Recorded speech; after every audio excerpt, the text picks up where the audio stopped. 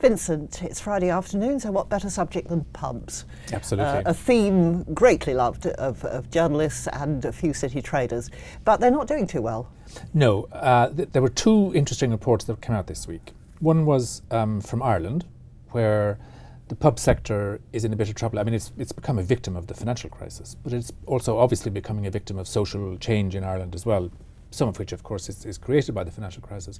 Um, so there are fewer pubs. You know, there's more of them closing. Um, there, people are drinking less in pubs, so their uh, turnover is falling, and they have accumulated debt of two billion euros. So, gosh, that's you know, a lot of money. It is a lot of money. You know, I mean, uh, individually it might not be because there are seven and a half thousand pubs, but actually cum- cum- cumulatively it is. It's a bit like the sort of mortgage debt that's building up. It's another sort of problematic part mm-hmm. of the whole private debt problem in Ireland.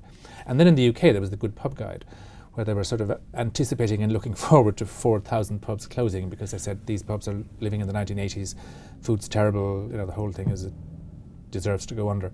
Um, so I think, you know, pubs are cultural places of great importance in Ireland and in Britain, and I think these two reports are very telling.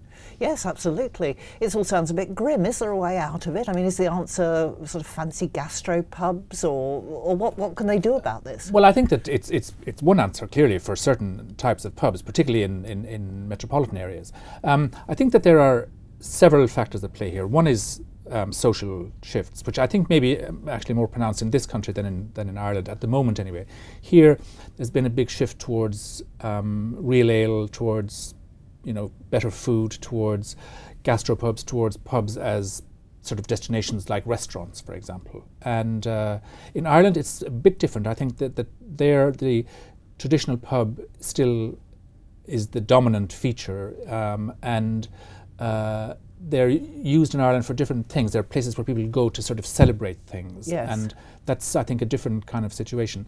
Um, and I think that that the challenges are greater, it seems to me, for the Irish pub. Well, it all sounds a bit depressing. Perhaps we'd better head off and have a drink um, to help them the, help them out. Absolutely, I think uh, let's all discuss it over a pint of Guinness. Definitely.